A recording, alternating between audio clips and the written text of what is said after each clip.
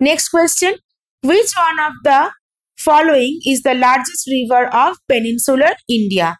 Now here is the question. What is peninsular India? Peninsular India means the southern part of the India or the Deccan part of the India, Deccan Plateau part.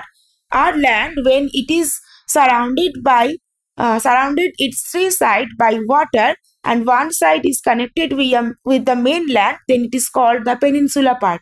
For India, the peninsular plate, the plateau region, the Deccan, uh, Deccan Plateau region of India is the peninsular part. And here is the question that which is the largest river of the peninsular India? Number one, Narmada. Number two, number B, Krishna. Number C, Godavari. And number D, Mahanadi. The answer right option is number C, Godavari. The Godavari India, India's second longest river after the Ganges and third largest drains appro approximately 10% of the country's total geographical area. Trimbakeshwar, Nasik, Maharashtra is its source. So, where it is started, it has started from Trimbakeshwar in Nasik, which is situated in Maharashtra.